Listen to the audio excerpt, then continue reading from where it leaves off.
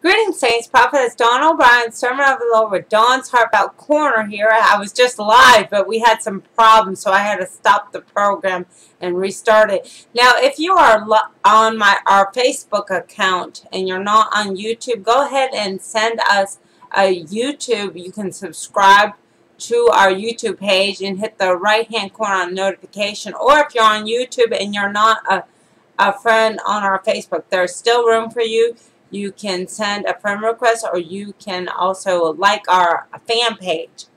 And, you know, I haven't been on here in a whole week, since, You know, I, I need to tell you something that, you know, today is the last of the month, today September 30th. And I know these past few weeks that God's been still working in Daniel and I. You know, I told you I, had a thing with the police officer about a week ago. And then after that, we were we dealt with some people that were homeless actually and they were nasty to me and God's teaching me to be quiet mind my own business don't say anything. And I, I feel that's for all of us in the coming days. We're gonna have to learn to mind our own business and keep a quiet life because you know God does talk about that. And so um I've been feeling kind of discouraged and you know you know when God is changing you you still squeeze your fruit and it goes on and off you know and so that's what he's been doing with us right now. So this is actually the first day I feel I can have composure, let's put it, without crying. I've been crying on and off, you know, and then the Holy Spirit, you know, he God is so amazing. You know, he dries our tears, you know, when we're crying, we're upset, you know. And so, um, you know, because I'm wondering, God, when? God, when? You know, he keeps telling me something's coming, and I, it hasn't happened yet. And then I went to the mailbox and I was upset because, you know, we're not getting a lot of support right now. And, you know, because we don't give those messages that people want to hear that tickle the ears. Okay, we speak the truth. And so sometimes it gets discouraged when when you keep doing it and pressing in and nothing's happening. You're like, God, when? You know, and, and so I, I was just having a little pity party too at, at the same time um, but I'm also going through changes. So if I'm not on here, know that God loves you. We're praying for you. But, but I can't speak to you unless God encourages me and helps me because I know you need to be encouraged in Lord as well. And especially right now because there are things getting ready to change and we're seeing more stuff happen. We're going to talk about some news today and um, I'm going to read you a word, um, a letter that I sent to President Donald Trump that Daniel it got it ready. It's going out in the mail. And also um, a little reminder of what's getting ready to take place. Okay, we've talked about the earthquakes and that. Um, look at California. Look what's happening with the Ring of Fire.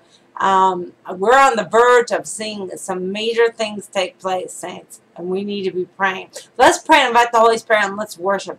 Holy Spirit, you're welcome here to say what you're wanting me to say. I yield myself to you and allow you to speak through me slowly and clearly, Lord. We thank you for this day, Lord. This is the day you have made. We will rejoice in it and be glad in it, Lord. Thank you, Lord, that you help me, Lord, because and help me to be strong in you and give me the words that you'd want me to say, Lord. Father, you're getting ready to raise up your people in the last days, Lord. We're getting ready to see some changes that are, are coming, Lord. And you're getting ready to send us out and use us, Lord. These are the last days. We thank you for what you're about to do, Lord. We give you praise, honor, and glory in Jesus' name. Amen. No distractions. Amen. All right. Praying we have no problems with the internet, too. This first song we're going to sing was a request, actually. Someone asked me if one of the old hymns, Rock of Ages, we're going to play Cleft for Me. So let's just worship Jesus. Rock of ages, cleft for me, let me hide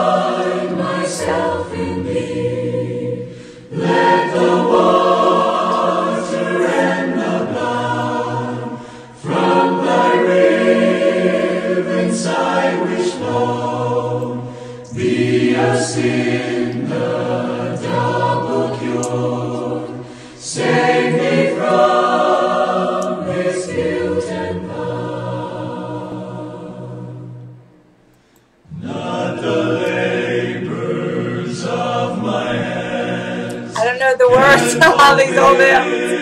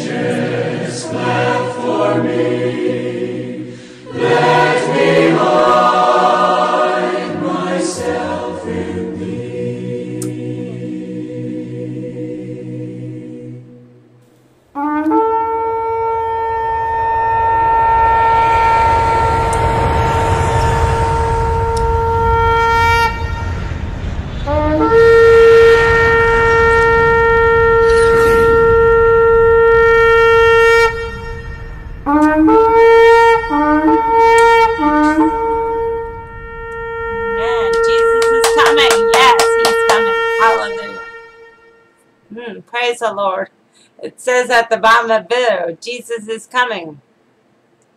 All right, what a friend we have in Jesus.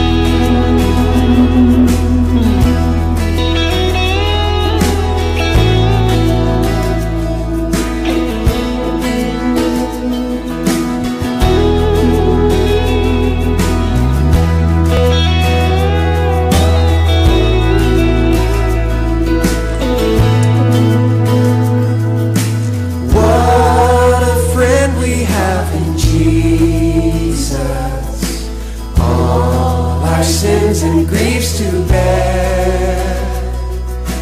What a privilege to carry everything to God in prayer.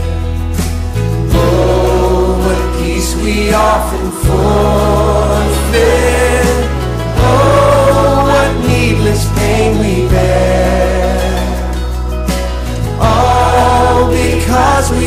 not carry everything to God in prayer.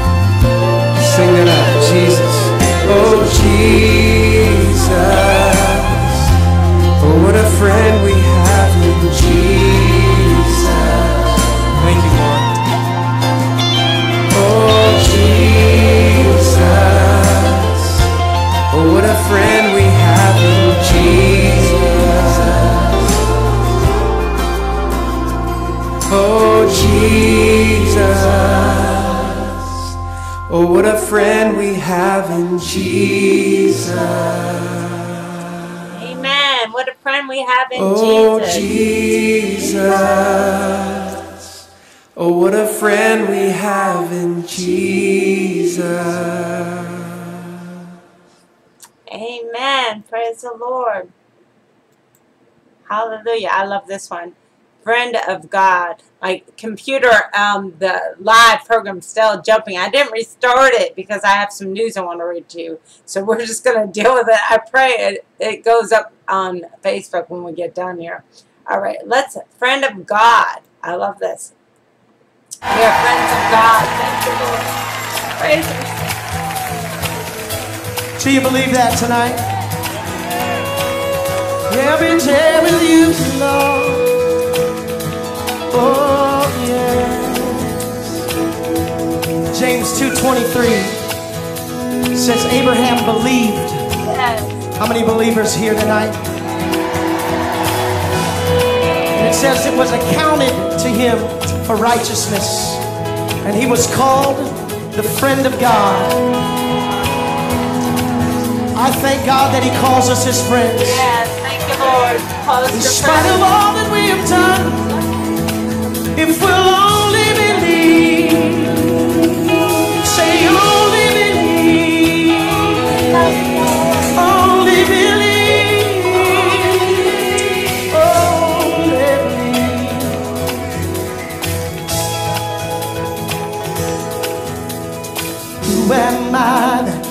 you are mindful of me? That you hear me when I call. Is it true that you are thinking of me? How you love me? Yes, He's amazing, Lord. You love us. It's amazing. Who am I? Who am I you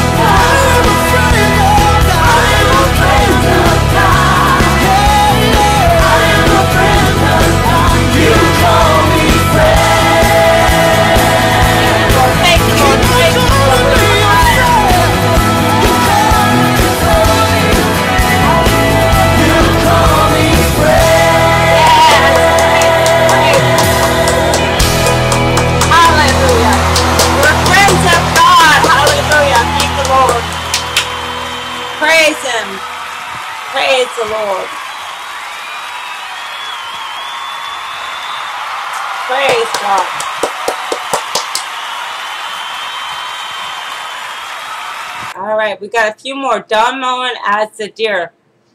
Let's continue to worship him. Worship him, saying, Jesus is worthy of our praise. We love you, Lord. Oh, God, we love you. You're so worthy, God. We welcome you here, precious Holy Spirit. Touch your people.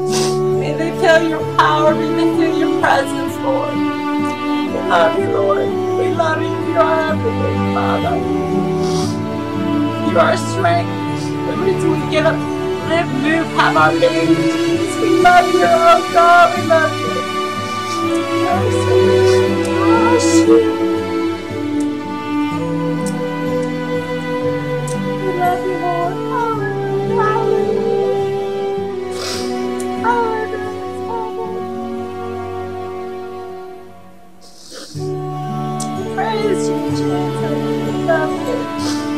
Everything us, Lord. We're nothing without you. Oh, God, we love you, Lord. We love you, Father. The deer panted for the waters, so my soul longeth after thee. We love you, Lord. You alone are heart's desire, and to worship You alone are my strength, my shield. To you alone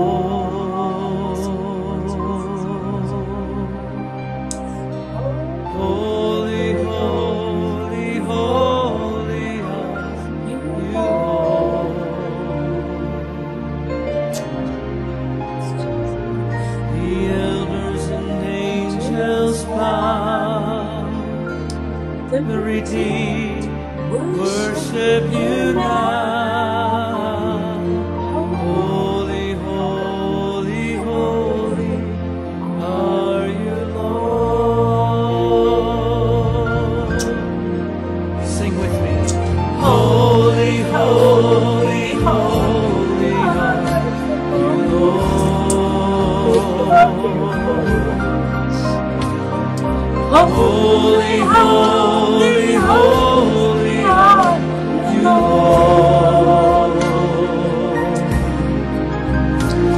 The and angels bow, Every redeemed worship you now.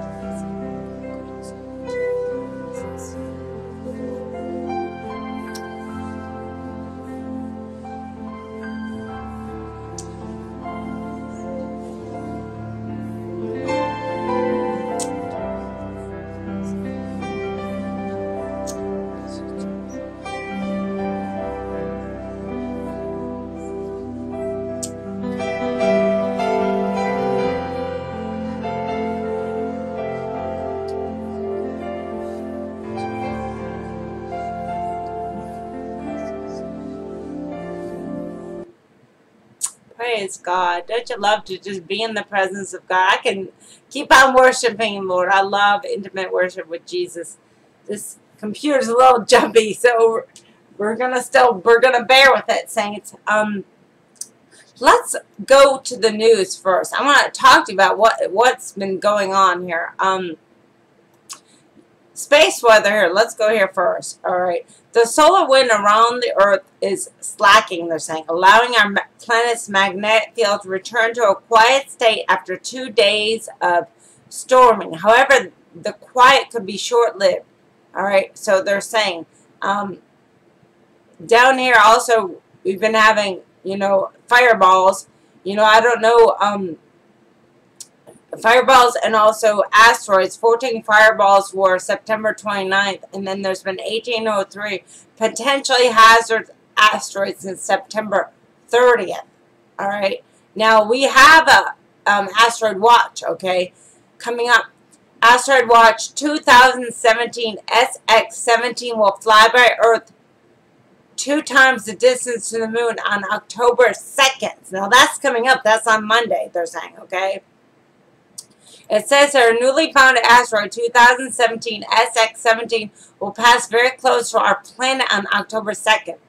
The space rock was first observed at Mount Lem Lemmon Survey just 24 hours before its closest approach to Earth, September 29, 2017. SX-17 belongs to the Apollo group of asteroids as a condition code of 6 at the time, with a 0 being good and 9 being highly uncertain. Okay, and then they're saying down here, astronomers have identified increasing number of asteroids which pose a threat to Earth according to the European Space Agency. Near-Earth objects or NEOs, and I mean NEOs are asteroids or comets whose orbits are close to ours, meaning there's a risk they could hit Earth. Ranging in size from meters to tens of kilometers, astronomers are discovering more and more asteroids that could threaten our planet. Since 2010, an additional 5,000 have been discovered, bringing the total known number of NEOs to 15,000. The rate of discovery has been high in the past few years, and teams worldwide have been discovering on average 30 new ones per week. Okay, so we're keeping an eye on that, what's going on. You know, um, God talked about it in the last days. We're going to hear of all these things um, that are happening. Um, California, I put up a video um, by uh, Neomis um, Maturity. He, uh, he, I put up actually two videos. You know, for those that don't know, on the front of our YouTube page, you can go there. I place videos, between 5 and 10 videos, to give you news, and I place a few on Facebook, because I know there are those that like to know what is happening. You know, we, we do need to keep up to date. We don't need to get worried or fearful, but we need to know what's happening. Now, he's got a video that I placed up. The Ring of Fire is shaking violently. Massive uptick in earthquakes. The strong earthquakes are popping like crazy along the Ring of Fire. We've talked about this. Scientists say there has been about above average number of significant earthquakes worldwide in less than a one month period. Okay, and I've placed some Dutchsinse videos that you can take a look. I've given you the video so you can go to his website and you can check out, you know, maybe you live in a different part of the world. You know, he's very accurate. He's very good about what, he, what he's talking about. Uh, down here in the video it says, why is the crust of the earth shaking so violent all of a sudden? Over the past 25 days, there have been eight major earthquakes globally. A devastating 7.1 magnitude earthquake has struck Mexico on Tuesday, September 19th, which killed at least 216 people and hundreds seriously injured. You know, and they keep having earthquakes over there. Tuesday's earthquake struck on the 32nd anniversary of another major disaster, the 1985 quake that killed as many as 10,000 people in Mexico. It also came less than two weeks after the most powerful earthquake in Mexico in a century, an 8.1 magnitude quake that killed at least 90 people, destroyed thousands of homes, and was felt by tens of millions of people. So that is what what's going on right now. And also, let me see if I can get over here to his website because uh, he's got a video uh, um, on here. Let me see if it's him. It may be somebody else. Hold on one second.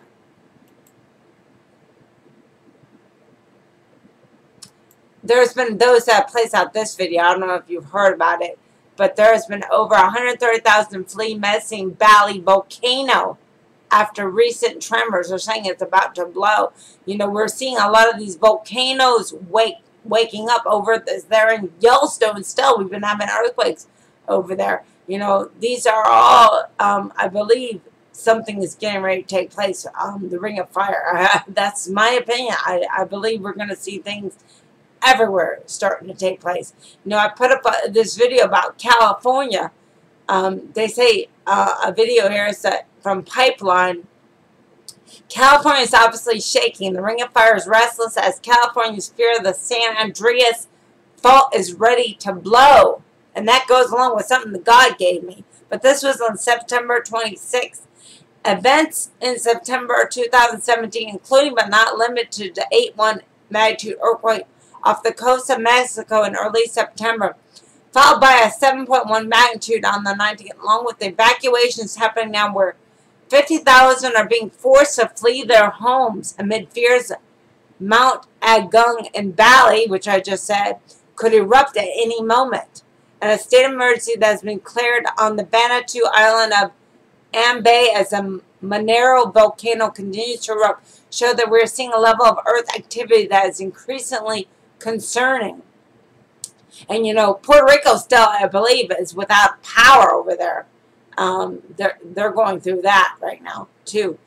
Um, over the past weekend, Mexico was again shaken up by another 6.2 magnitude earthquake, and no less than 26 small earthquakes have rattled California in a 24-hour period, and 176 earthquakes in a seven-day period, causing some serious alarm over the much-talked-about big one hitting along the 800-mile that runs almost the length of California called the San Andreas Fault. You know, I think they even had the movie on TV um, a, a, like about a week ago as well. Um, so, you know, are they expecting something? You know, uh, some of these earthquakes, they don't even put up on the USGS. They don't let people know what is going on. It says here, in California, the Pacific Plate and the North American Plate are both moving northward, but the former is moving faster than the later, leading to a buildup of tension. Some of this was released in a catastrophic 1906 quake that hit San Francisco, but there's still thought to be a lot of unresolved pressure along the San Andreas Fault in the south of the state. In other words, a quake is probably coming and it's going to be a big one. And I've been talking about move away from the West Coast and about other, um, that God keeps showing me California. American government projections say Blackett placed the likely magnitude of the quake somewhere between magnitudes 7 and 8. Okay, the San Andreas Fault is part of that ring of fire. San Andreas, the ring of fire, harmonic tremors. The reason so many people keep their eyes on the ring of fire, showing the image above, there's an image, um, if you go to that video, I've got Pipeline, and you can look at this vi video. If there's an article you can read. That's where I'm reading right now. The ring produces 90% of the world's earthquakes and 81% of the world's largest earthquakes, but also holds 452 volcanoes. Wow! Which is more than 75% of the world's active and dormant volcanoes. Some Californians have been so rattled by the swarm of quakes over the last week they are stocking up in bulk in preparation of the possibility of the big one being closer than imagined before. In order to understand exactly how much of a disaster it would be for a mega quake to hit the San Andreas fault line, remind you of what Dr. Lucy Jones, science advisor for risk reduction at the U.S. Geological Survey, pointed out back in 2013, saying, Imagine America without Los Angeles, as she warned that California is in no way prepared for a major quake. All right, I'm not going to read all this, but you can go on our website, there's a video that I placed up um, just a few days ago, let's say, about the, uh, the San Andreas. Let's um, look at the, um, let's go to these earthquakes here. Let's see what's happening real quick here. Okay, this is the last day of the month. You know, this is, let's see, what it say? Today, well, yesterday was Yom Kippur began at sundown. Today is Yom Yom, Yom Kippur. All right. All right, let's look at it. There's still small swarms in California, 2.3, 36 minutes ago, 1.8 in Alaska, 43 minutes ago. Mammoth Lakes, California, uh, 1.0, 1.5 in Berkeley, California. Uh, small swarms in Mammoth Lakes, California. Um, other places in California as well. Um, there was um earthquake in Hawaii, 2.287 minutes ago. Yucca, California, 1.5, two hours ago. 1.9, Alaska. British Columbia, 2.1, 2.1, two hours ago. More sw small swarms in California. Nevada, small swarms as well. 2.9, Alaska, three hours ago. New Jersey had one at 1.0, three hours ago. Indonesia, 5.0, five hours ago. 5.2 five hours ago. 4.4 in Mexico again, five hours ago. Alaska had a 2.0 six hours ago. Small swarm still going on in California. Geysers, 1.3 six hours ago. Oklahoma, 2.5 six hours ago. 3.1 in um, part of Australia, seven hours ago. Small swarm, swarms in California, Alaska, New Zealand at 5.09 hours ago and a 5.1. Mexico had another one at 4.09 hours ago. And China had one 5.59 hours ago. 2.7 in Montana 9 hours ago. 4.5 in Papua New Guinea at 10 hours ago. 4.2 in Iran. That was uh, 11 hours ago. Small storms in California, Nevada, and Alaska. And you can take a look at that link. I've given it to you several of times so you can keep up with what is happening. Now, um, I'm going to share some encouraging words and I'm going to give to you what God placed on my heart. You know, like I said, you know, every time I think the Lord is getting ready to move, He makes us wait even longer. There's a reason, saints. I told you we're going to have to wait for the return of Christ. I know everyone keeps telling me. I mean, I go to websites, pray for me because I need to just keep quiet, mind my own business. You know, but me, I'm still not there yet. You know, I got to tell people, you know, my heart goes out to the Christians that are going to be deceived in these last days, okay? Because um, God talks about a falling away, you know, and everybody thinks that Jesus is coming today. I mean, they're seeing all this. They think, well, they were going to have these things, uh, and they're hearing about the wars and rumors of wars. Remember, it says that Jesus talked about. He said wars, rumors of wars, pestilence, earthquakes, and a famine, but the end is not yet. This is only the beginning of sorrows. Okay? Doesn't say that we're going to pack up our bags and we're going to get ready to go. it doesn't say that. I wish, you know, but that wasn't what God has planned.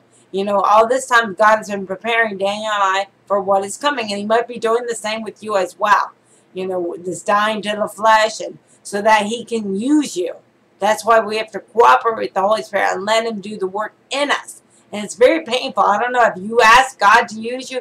If you ask God to use you, don't don't be surprised while you're going through it. You know, God said that to me several times. I've been in the shower and He's told me.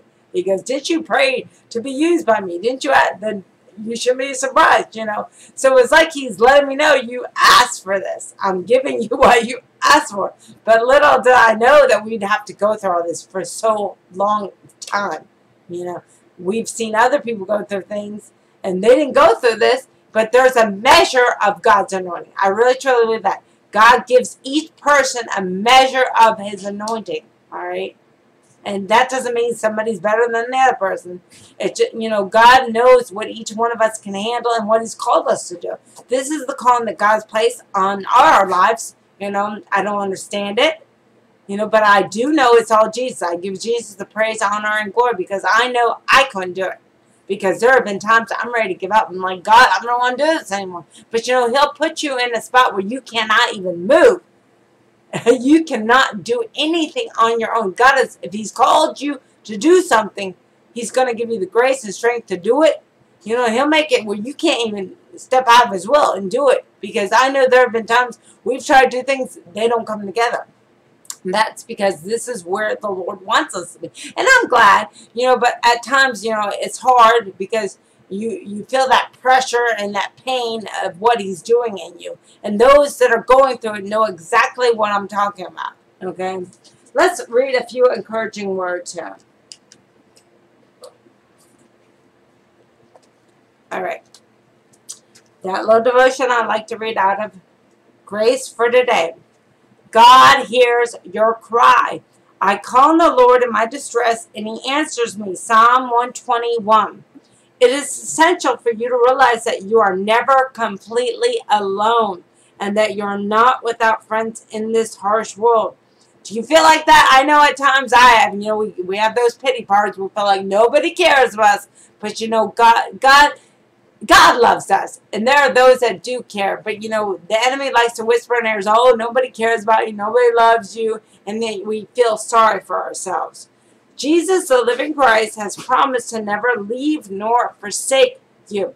He offers you his friendship, and all that he asks from you is to be obedient to his commandment of love. Secure in this knowledge, you have the assurance of his constant presence in your life. He has already heard your call of distress and answered your prayer. And then here's a prayer. You know our deepest sorrow and hear our sighs. Help us, Lord, never to forget that you alone are our salvation and support. Amen. Praise the Lord. And here's another um, little word I'm going to read you from Joyce Meyer. It's the confident woman devotional, but it can be for the confident man. but I'm reading it to you because I read it today. It says, don't take in criticism. You know, maybe people are criticizing you and you feel like, you know, you're not doing what you're supposed to do. Don't listen to other people's criticism. You know, only person that matters is what Jesus has to say about you.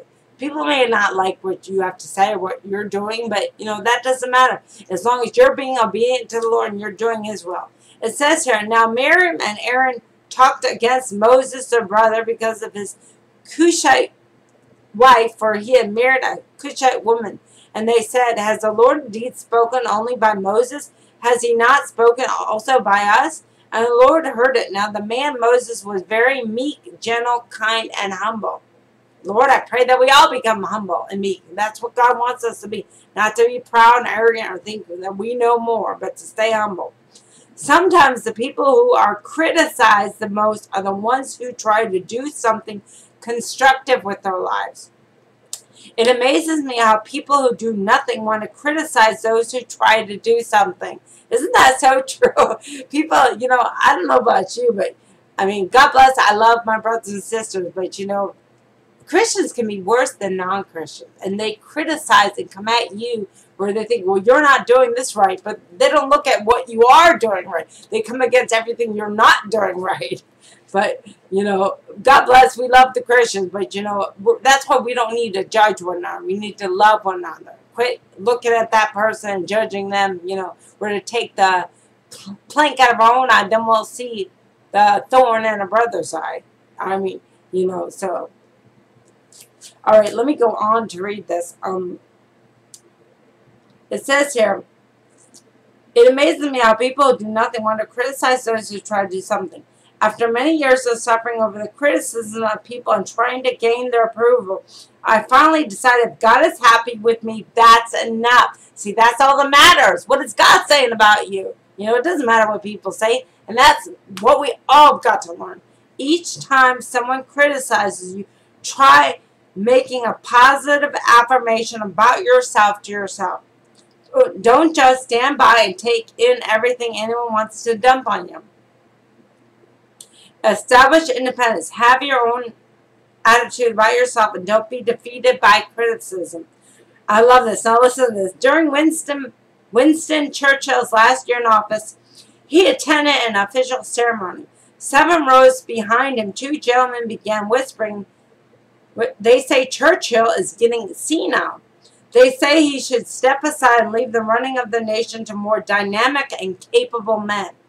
When the ceremony was over, Churchill turned to the men and said, Gentlemen, they also say he is deaf.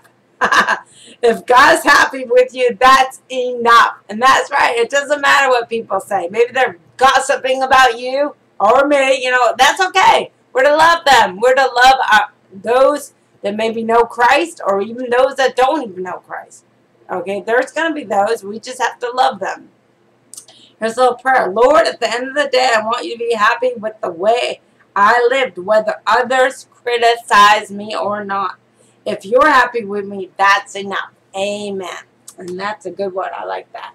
All right, now I want to read you um, Prophet Russ's word. But And I got to read the scripture because he says something in here that goes along with uh, something I said in a letter I wrote to President Trump for all of us. Uh, uh, he gave a verse in here. And so I want Prophet Russ to know he is right on page with what God's given me. He talks about self-pity, don't whine. I was like, God, I know God's speaking to the choir. You know, so um, this is a good word. I'm going to share with you. Um, he says here, First, let me read this verse. He reads a verse here at the beginning of his um, devote, uh, beginning of his prophecy, and then I'm going to read it too. But he read, let me read Psalm 18, 29, 33. For by thee I've run through a troop, and by my God have I leaped over a wall. As for God, his way is perfect. The word of the Lord is tried. He's a buckler to all those who trust in him. For, for, for who is God save the Lord, or who is a rock save our God? It is God that girdeth me with strength, and maketh my way perfect. He maketh my feet like hinds' feet, and setteth me, setteth me upon my, my high places. Well, here's Prophet Russ's word. I'm going to read. The Father says today, I made you for the high places. I made your feet like hinds' feet, that you have might, might scale the heights of my goodness and see my glory made manifest in the lives of men. The mirror of despondency is not a path that I've chosen for you. He says, let your heart find joy even in the midst of challenge. For my hand is working. When the enemy does his worst, I will do my best. When the enemy does his worst and I do my best, what do you think the outcome will be? So just rest in my yes and amen. I'm not the one denying you. Calvary was not about slamming a door in your face. I came that you might have life and life more abundantly, and that is the ongoing work of my grace in your life. He says, step into my yes and amen today. Determine that you will not create religious falsehoods with one day, someday expectations. Faith is now, he says.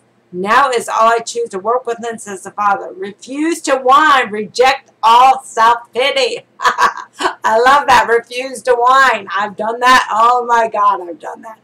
I'm whining to God and say, God, when? God, when? I've gotten angry, got mad. Hey, don't say you've never gotten upset with God.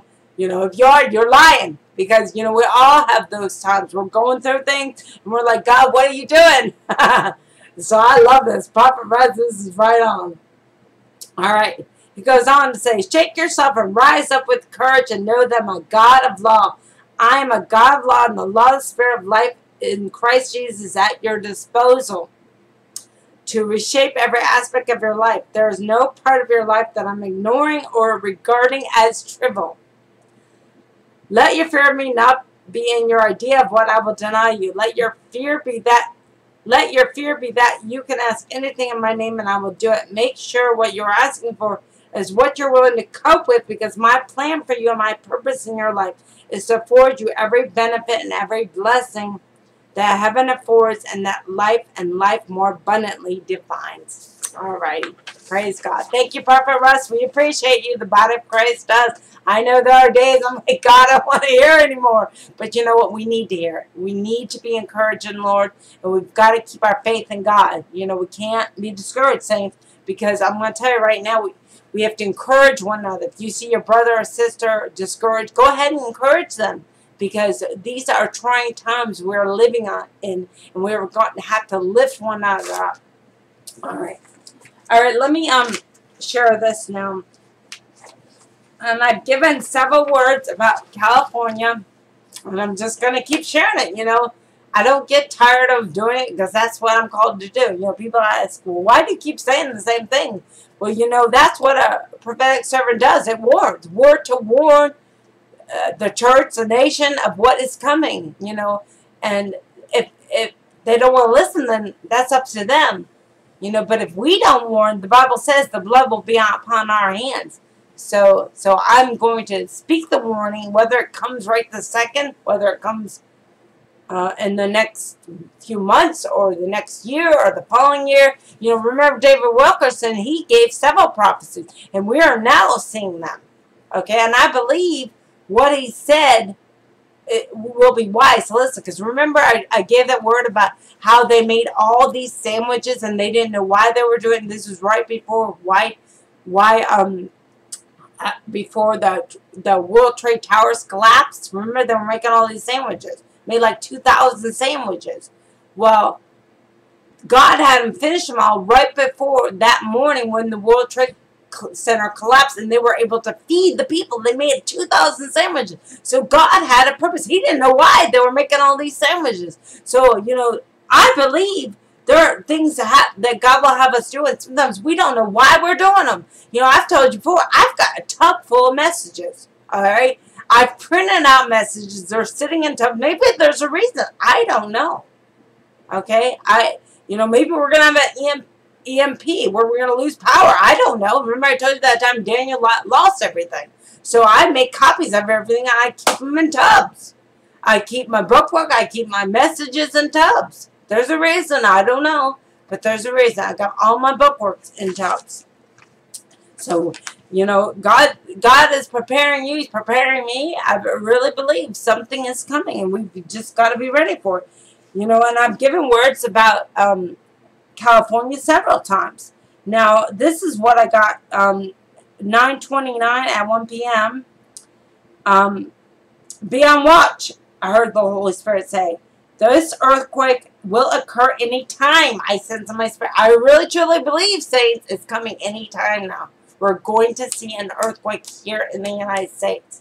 Now, I, this is what I believe, you know, but remember what I told you. One day is like a thousand years. A thousand years are like one day. You know, that was what God told me the answer. when I said people are going to persecute me, say, oh, that ain't going to happen. And he told me to tell him that because, you know, it hasn't even been one day yet. So I believe it's coming any time now. This is what I felt. You know, and that's what prophetic sermons can sense. They know something's coming. And sometimes they, they feel it's like any time now. But then God makes us wait even longer. But you know, He gets the warning out there so people can know what is happening. Alright? This earthquake will occur anytime I sense in my spirit. The Holy Spirit is telling me the fault lines are getting ready to go. That's what I heard him say when I walked in the bathroom the other day. He said the fault lines are getting ready to go. There's going to be a split in the fault line. Remember back in May of 2017, that was this past year, just back in May, I told you, I'll, the Holy Spirit will give me words. It may not happen tomorrow, but it's a warning to warn the people. And I've said to God, do you want me to do that? I don't want to do it. They're going to think I'm crazy. And he said, are you more worried about do, pleasing them or doing my will? I said, okay, Lord, I'm going to do your will. You know, it's more important doing God's will because if not, I'm going to have to answer. I'm not going to. I have enough. We all have enough to answer when we stand before the Lord. Uh, so I gave this word back on uh, May 12th, 17th at 3 a.m. I woke up at 3 a.m. I said, move away from the west coastline. You can go listen to that video. And we've talked about this before. The Holy Spirit's given me this. There will be those on their deathbed crying out to God, save me. Others will not have time. Remember, I told you, something's going to happen. There's going to be those on their deathbed who say, God, save me. And then there's going to be those that are not even going to have time to cry out to God. They will be swallowed up alive. And we've talked about that. Repent now, says the Lord. Excuse me, let me grab a quick drink. My throat is dry. Okay.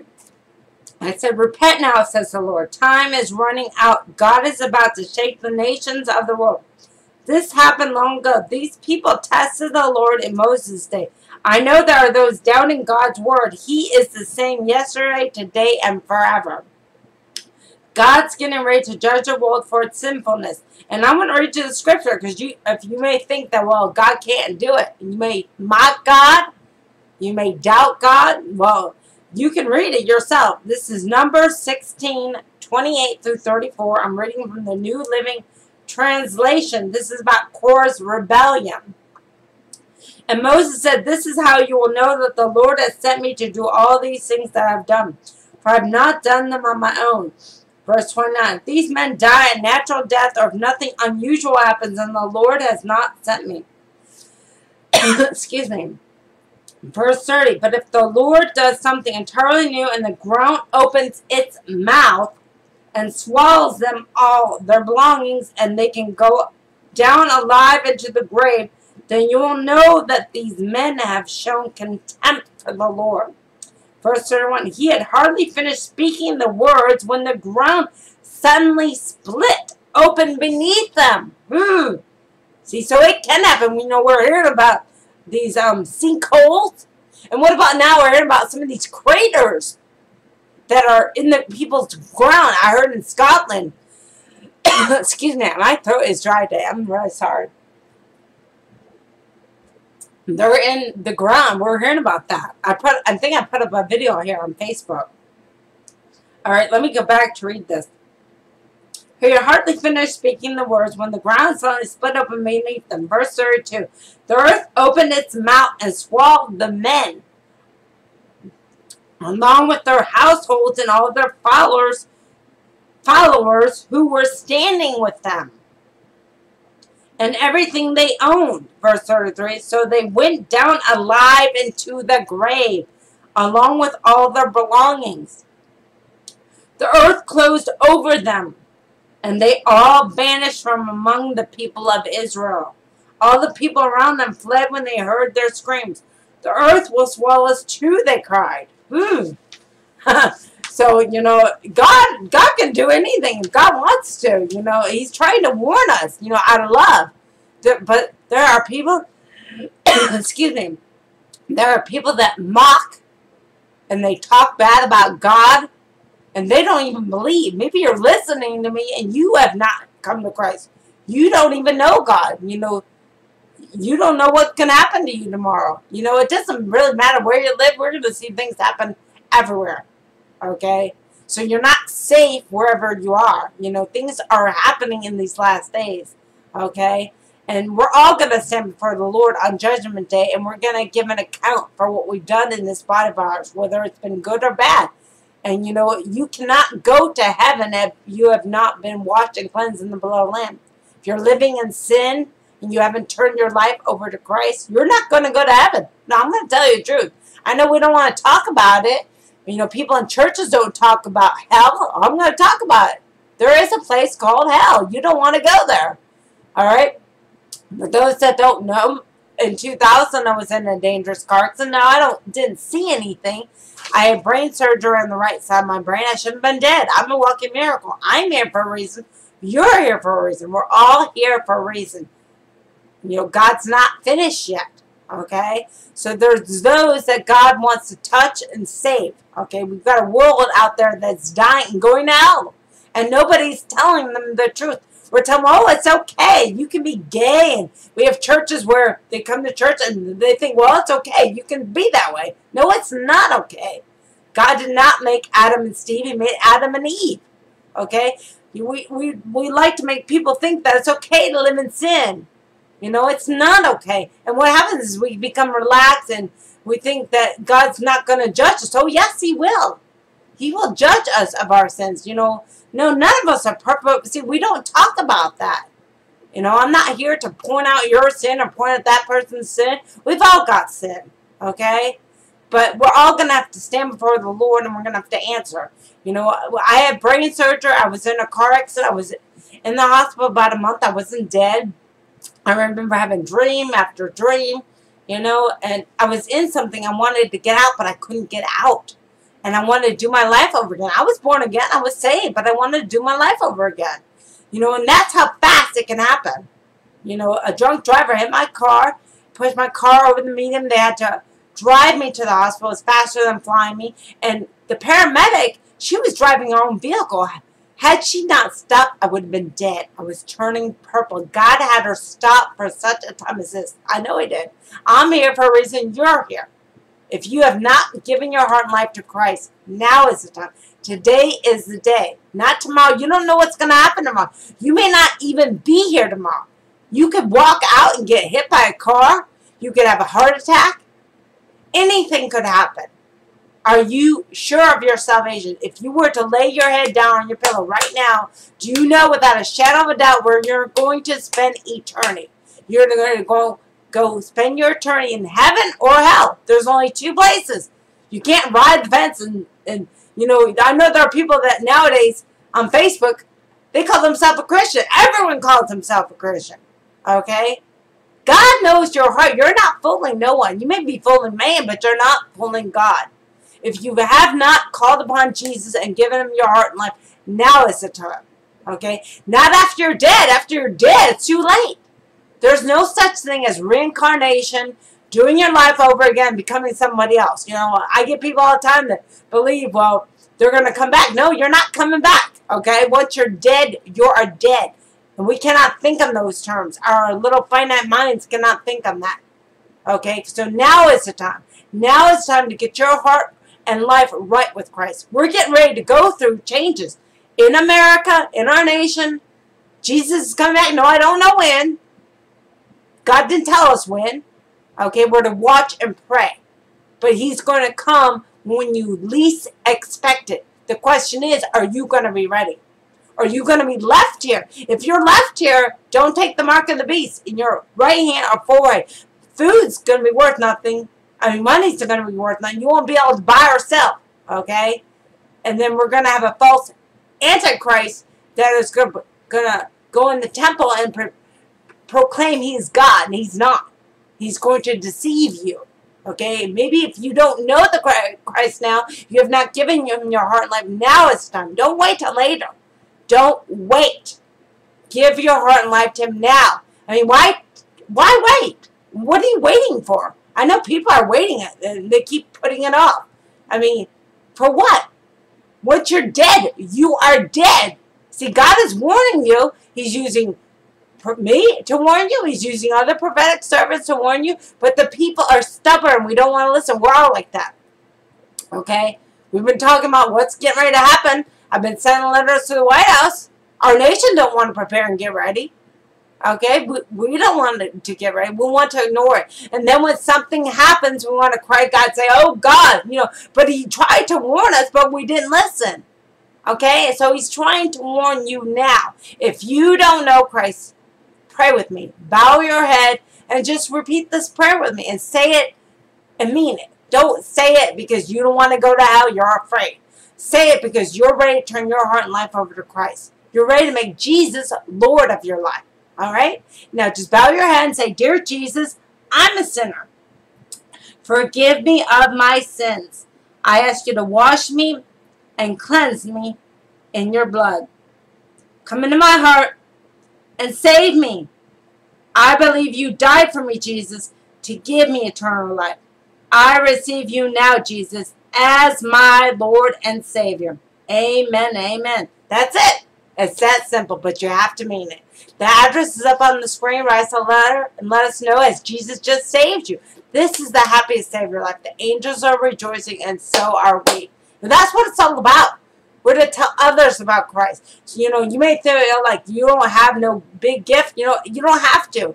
That's what we're here. We all have a testimony. We can share our testimony with others, no matter where you're at.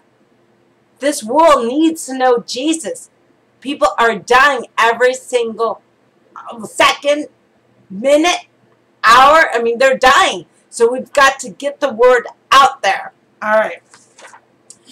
All right, now I'm going to share this other word with you. Now, I'm not going to go over all this. We've talked about this before. I've told you I've sent several letters, gosh, over 20 letters to the White House warning President Donald Trump what is getting ready to take place. In fact, um, remember we've talked about John John Casey, okay, and how he has sent letters as well. All right, I contacted the International Earthquake and Volcano Prediction Center here in Orlando. It's actually here in Orlando. This was back in May and June. Okay, it was like he sent a letter to the press right the same day that I talked about move away from the West Coast. All right, and I know this was the Holy Spirit. God had me talk to him. I've spoken with him a few times. He's on my mailing list. I mail him all our videos and warnings. You know, I've got a list of people that I write to. That I've got uh, President Donald Trump's wife's secretary. I send her as well. And so, um, it says here, remember we've talked about this, he was the president of the Space and Science Research Corporation, a leading climate science research organization. Mr. Casey, he was a former White House Space Program Advisor, NASA headquarters and congressional consultant and was a senior field engineer on the Space Shuttle program. All right, he's a scientist. He's a leading researcher on the science of solar activity cycles and their impacts on climate change and associated catastrophic geophysical events, including earthquakes, tsunamis, and volcanic eruptions. All right, and he's written books. Remember, we talked about this. He wrote a book last year on upheaval. Well, on May 12, 2017, you know, he sent a letter to Rick Perry. All right, he's the Secretary of Energy and he warned him about the imminent threat to the U.S. energy resources and nuclear facilities that their team of scientists detected from years of accumulated research. Now, we've talked about this. You can go and um, take a look at the videos that I've done. All right, he says our estimates of the damage that could strike as soon as tomorrow indicates that many millions of Americans could experience earthquakes so large that whole states and regions of the country could be without water and power for weeks or months at a time. And we're seeing the seismic activity of these earthquakes increasing. All right. Why isn't our president saying anything about it? I just want to. I just want to say that. Why isn't President Donald Trump talking about it? We need to be talking about it. We've talked about this before, okay? He says this, what we're saying is that our research demonstrates that multiple big ones are about to sweep across the U.S. between 2017, which is this year, and 2038. As history shows, this happened before. We should begin immediate preparations across the board to safeguard the country, he said, for this new era of geophysical danger that has just begun. And we've seen it increase since May. I mean, look at the hurricanes as well. And I said, why are we making preparations for safeguarding our country? You know, I've sent letters to the White House asking them, we're not preparing. What are we doing for our nation to protect it in the loss of power and water? All right? And how does our administration plan on feeding the American people? Um, we've witnessed birds, fish, 200,000 ton whales being washed up on California beaches dying. All right? Instead, our administration is focusing its attention on producing more jobs, the healthcare, and growing the economy, which is great, okay? I'm not knocking that. I'm not saying it's not good, okay? I'm saying that this is a warning that needs to be spoken on national news to warn the people in America, okay? We need to, what happens is we don't put these earthquakes on USGS. We don't bother letting the people know what is happening. So nobody knows what is going on. We've been doing all these drills as well. Nobody knows about the drills. Okay? And I sent him a letter when I said, I'm not a woman entrepreneur, I'm a woman prophetess. God reveals to me the dangers that are upon us as a nation and world. Alright? A woman entrepreneur is a person who organizes and manages any enterprise. I want to be a prophetic voice organize, manage, set up preparations safeguard our nation this new era of geophysical dangers that is upon us. We as a nation must prepare and get ready for the hard days that are ahead of us. And that's what's happening. We're getting ready to see hard days. All right? And I said if we don't start precautions now, there'll be no economy, welfare, or prosperity for the American people. And I've told you before, we can't look at the Dow Jones. I know we're seeing it increase. But all we have to have is one major disaster, which we've had already major disaster. We've seen it in Hurricane Irma. What about, um, what, what's that one called over there in Puerto Rico? Maria. Puerto Rico? What about Harvey in Houston with all the flooding? You know, these are signs trying to get our attention. Hey, that's saying, God saying, hey, they're trying to wake you up. But what are we, we're just ignoring it, okay? And remember that one I put up where we had this prayer that we prayed, had a national day of prayer for the, the Houston, and we had all these pastors praying around President Donald Trump. Okay? And Say, oh, you're doing a good job and that. But no one dared say anything that we in America need. Instead, we're saying, oh, you're doing a good job. Then we got a pastor who said a prayer of him, and he left out the most important verse of that scripture. If my people humble themselves and pray and seek my face and turn from their wicked ways. He left that out. I was like, oh my God. I cannot believe that. We in a, the nation have got to turn away from our wicked ways. Right? There cannot be no healing. I'm going to tell you right now. We're killing millions of babies in America, abortion. We're allowing same-sex marriage, transgenderism. We've got the, the drag queen. We've got, I mean, this is modern day Sodom and Gomorrah. And we're sitting back doing nothing about it, okay? And then we have people worshiping all gods, okay? Because even President Donald Trump now, he said this, whatever God you choose. No, it's not whatever God you choose. There is only one God. His name is Jesus Christ of Nazareth. If you remember during Elijah's time, the other false um, prophets called on their false God and nothing happened.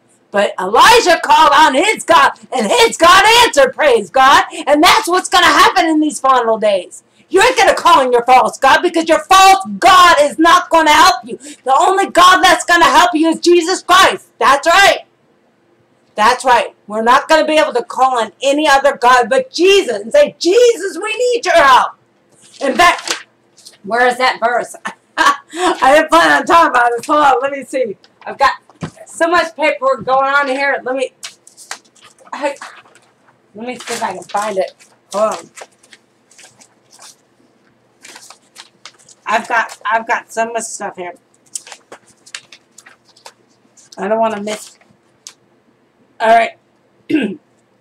Psalm 18:6 says, In my distress I called upon the Lord and cried to my God for help. He heard my voice out of his temple, and my cry for help from came into our ears. And then Isaiah 43:11 says, I, even I am the Lord, and besides me there is no other. That's right, there is no other Savior besides God. So if we need help, we're going to have to go to God. We can't go to no false God. I'm going to tell you right now, we cannot go to a false God. All right. So we're looking at that letter. I'm telling you what's going on. You can look at those past videos that I've done. Um, let me see if there's anything else I want to tell you about. Okay, so we, these letters I've been sending now to America, I mean, to President Donald Trump at the White House. Now, I don't know. Is somebody getting those letters? I don't know. Only God knows. I've been sending them. I place them on the website eh, and putting them in the mail. Now, John L. Casey, he wrote me back in June. I received an email from him saying, since your approach is religious, as mine is scientific, in our own separate ways, perhaps we can get the government's attention. And then I said this, my prayer is that someone in the White House will pay attention to the science all around us before it's too late. The lives of the American citizens are at stake. Okay? So that is what is happening. The lives of people are at stake, and we're doing nothing about it. We're not talking about it. All right? Let me read you this letter. I just wrote another letter, in fact, in here, and then um, we're going to pray. I'm praying for you, and we're just going to say a prayer before we get ready to leave here. But I wrote this, uh, uh, President Donald Trump I just wrote this on 929 as well. God gave this to me. God has sent warnings to America time and time again of what is about to take place. As Commander-in-Chief, it is time you lead America back to God, who is the only true help for a fallen nation. America's had Christian presidents in the past. God is raising you up today to lead America, I hear the Lord say. That's right. If President Donald Trump is listening to this, he may, I don't know. You know, he already listens to different um, Alex Jones and different people. I'm I'm nobody, so if he's listening to me, I, I'm I'm honored that he would listen to me.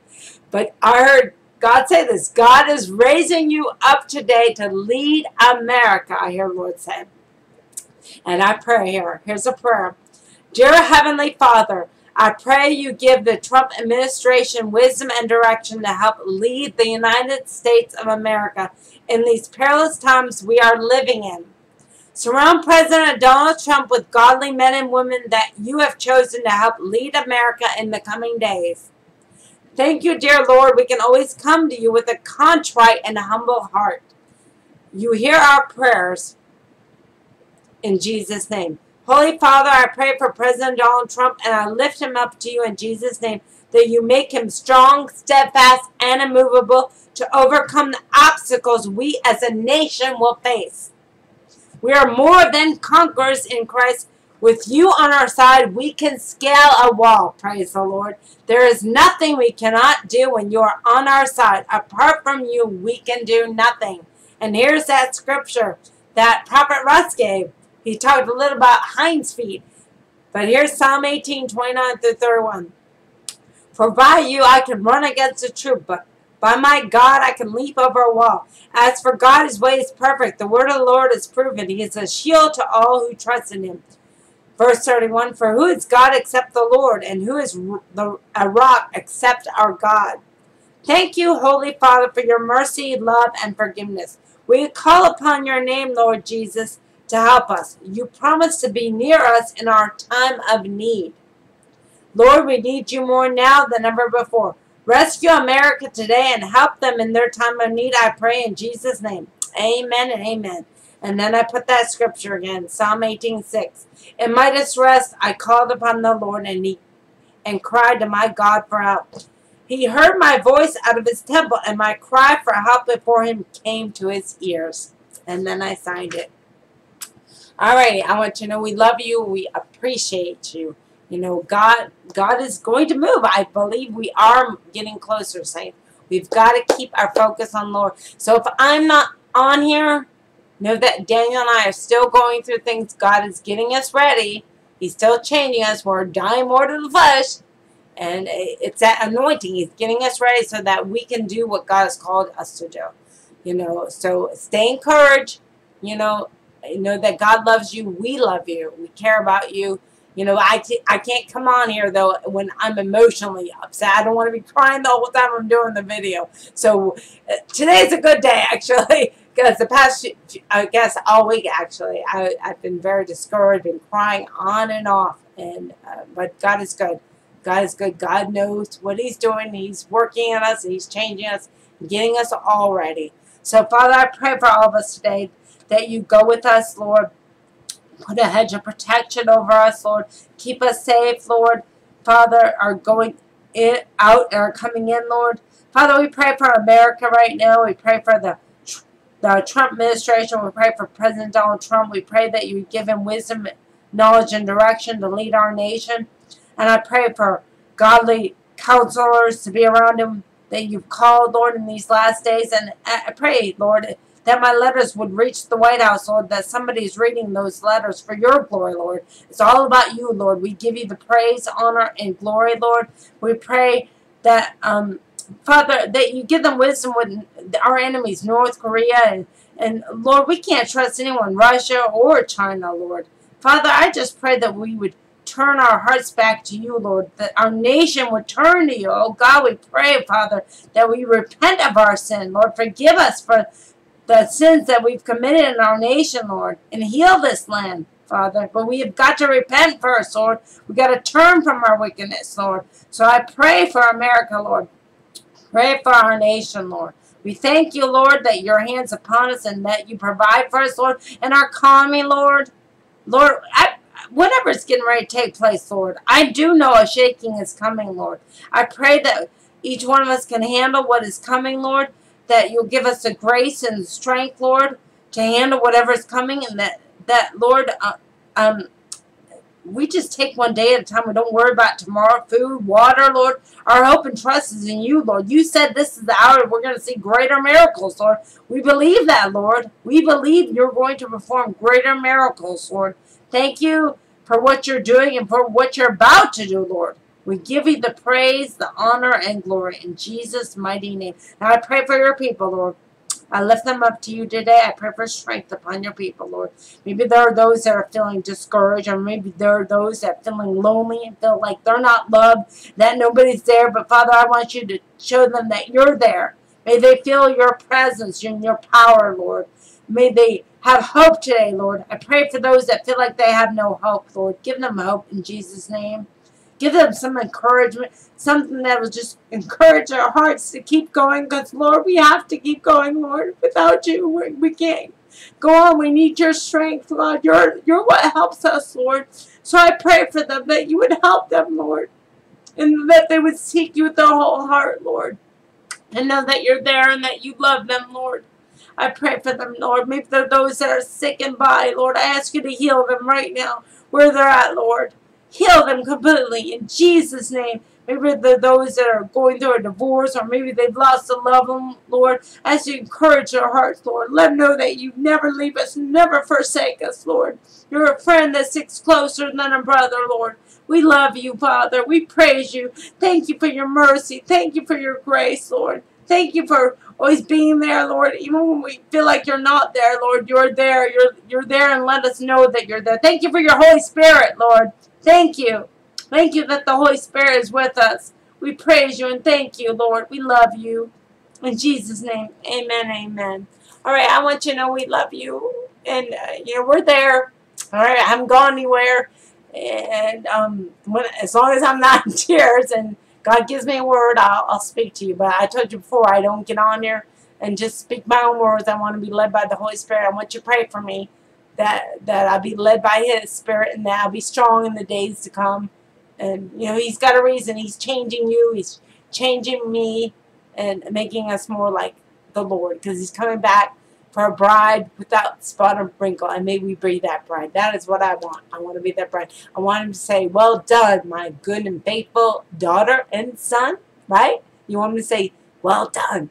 All right. Praise the Lord. All right. Uh, well, until we meet again this is Prophetess Dawn O'Brien, servant of the Lord with Dawn's Heartfelt Corner. God bless you. Have a safe and blessed day. Talk to you soon.